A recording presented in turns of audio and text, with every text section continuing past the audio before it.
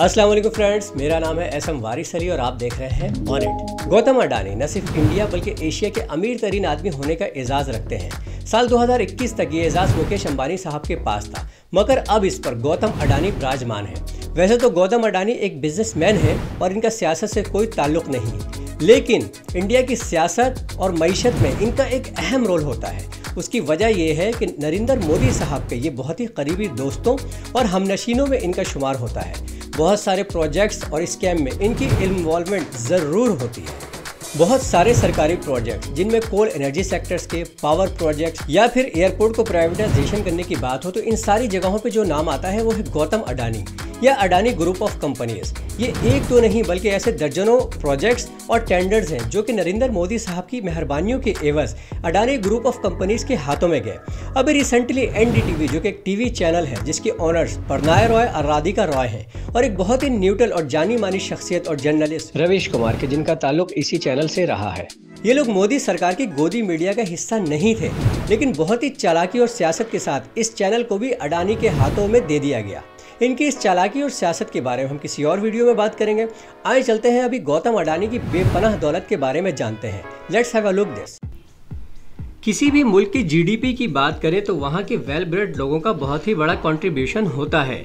वहीं अगर इंडिया के सबसे अमीर तरीन इंसान की बात करें तो वो है गौतम अडानी, जो कि अडानी ग्रुप ऑफ़ कंपनीज़ के फाउंडर और चेयरमैन भी हैं।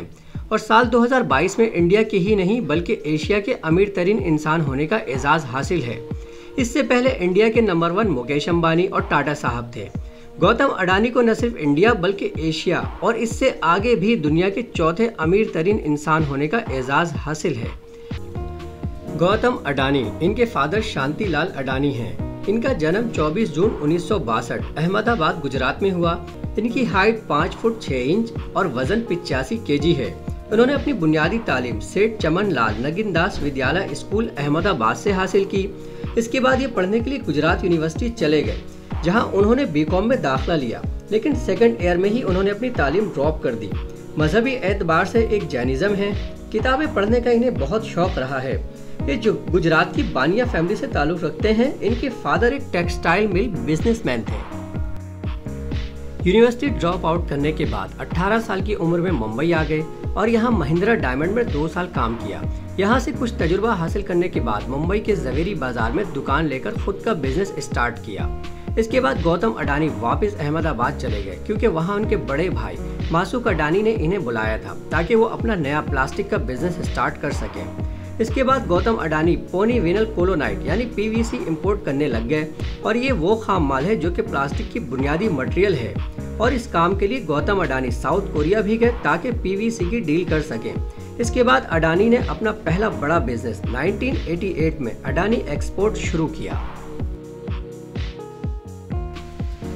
इसके तीन साल बाद इंडिया में 1991 में लिबरलाइजेशन शुरू हुई, जिससे गौतम अडानी और इनकी कंपनी को काफ़ी ज़्यादा फ़ायदा हुआ और इनके बिज़नेस में काफ़ी बड़ा रेवेन्यू आया। फिर 1993 में गुजरात गवर्नमेंट की तरफ़ से मंदरा प्रोजेक्ट देने की बात हुई और दो साल बाद 1995 में इन्हें ये प्रोजेक्ट मिल भी गया। इसके बाद उन्होंने मंदरा प्रोजेक्ट पर काम किया और इंडिया का सबसे बड़ा प्राइवेट पोर्ट बना डाला। इसके बाद अडानी नहीं रुके, बल्कि एक और industry, Adani power plant project start किया, जहाँ पर उन्होंने थर्मल पावर प्लांट्स बनाए और ये इंडिया के सबसे बड़े थर्मल प्रोड्यूस पावर प्लांट्स हैं। उन्होंने अडानी ग्रुप को इतना वसी कर दिया कि आज की तारीख में वो काफ़ी सेक्टर्स में काम करते हैं। जैसे कि लॉजिस्टिक पावर एनर्जी एग्रीकल्चर और इसके साथ साथ अडानी ग्रुप काफ़ी सारे बिज़नेस में है। जैसे कि प्राइवेट एयरपोर्ट्स टीवी चैनल्स और भी बहुत कुछ। 1996 में अडानी फाउंडेशन की बुनियाद रखी गई, जो कि काफ़ी काम कर रही है हिंदुस्तान लेवल पर। इनकी फाउंडेशन का मेन फोकस एजुकेशन है और इसके साथ साथ इंफ्रास्ट्रक्चर को बेहतर से बेहतर बनाना है और साथ ही लोगों की इमदाद भी करते हैं। अहमदाबाद में इनकी वाइफ प्रीति अडानी अपना खुद का अडानी विद्या मंदिर स्कूल चलाती हैं, जहाँ पर ये इन बच्चों को दाखिला देती हैं जिनके वालदेन की आमदनी सालाना एक लाख से कम हो। एक बार गौतम अडानी से इंटरव्यू लिया गया तो उन्होंने बताया कि वो रिज़ल्ट पर यकीन नहीं रखते, बल्कि कोशिश और बार बार अमली कदम उठाने पर यकीन रखते हैं। अगर इनकी फैमिली की बात करें तो इनकी माँ शांता अडानी और इनका एक भाई विनोद अडानी। इनकी वाइफ का नाम प्रीति अडानी है। बाई प्रोफेशन एक डेंटल सर्जन है और अडानी कंपनी में एक मैनेजिंग ट्रस्टी हैं। बच्चों में इनका एक बेटा, करण अडानी, जो कि अडानी पोर्ट और सेज का सीईओ है। इसके अलावा इनका एक और बेटा, जिसका नाम जीत अडानी है। अगर इनकी नेटवर्थ की बात करें तो आज की तारीख में 115 बिलियन डॉलर्स बनते हैं, जो कि इंडियन रुपयों में नौ लाख अट्ठारह हज़ार करोड़ रुपए बनते हैं। और इनकी पर डे इनकम 1000 करोड़ से जायद है। इनकी कार कलेक्शन की अगर बात करें तो इनके पास एक रोल्स रॉयस घोस्ट है, जो कि इंडियन सात करोड़ रुपए का है। दूसरी B M W seven series car 2.5 crore रुपए। एक और फर्रारी कैलिफ़ोर्निया 3.2 करोड़ रुपए की है।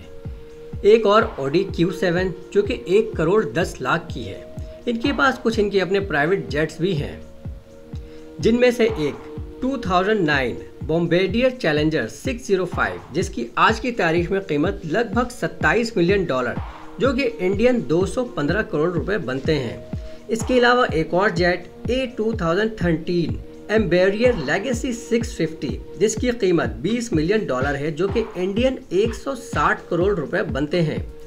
एक और तीसरा जेट ए 2007 हॉकर 850 एक्सपी है। जिसकी कीमत तीन मिलियन डॉलर, जो कि इंडियन 25 करोड़ रुपए बनते हैं। अगर अडानी के घर की बात करें तो ये पूरे इंडिया में काफ़ी प्रॉपर्टीज़ ओन करते हैं और इसके अलावा ओवरसीज़ में भी। लेकिन ये अपनी फैमिली के साथ गुड़गांव में रहते हैं और इनके घर की कीमत है 400 करोड़ इंडियन रुपीज़ में। तो फ्रेंड्स ये वीडियो थी गौतम अडानी की ज़िंदगी और एक आम आदमी से लेकर एशिया के अमीर तरीन आदमी के होने तक का सफ़र। कैसी लगी वीडियो आपको? उम्मीद है पसंद आई होगी। अगर पसंद आई है तो इसे लाइक करें शेयर करें। और अगर अभी तक आपने मेरे चैनल को सब्सक्राइब नहीं किया है तो प्लीज़ सब्सक्राइब माई चैनल ताकि इस तरह की इन्फॉर्मेटिव और वैल्यूएबल वीडियो आप तक पहुँच सके। मुझे अपनी दुआ में याद रखिएगा, अपना बहुत सारा ख्याल रखिएगा। Take care good bye and Allah हाफिज़।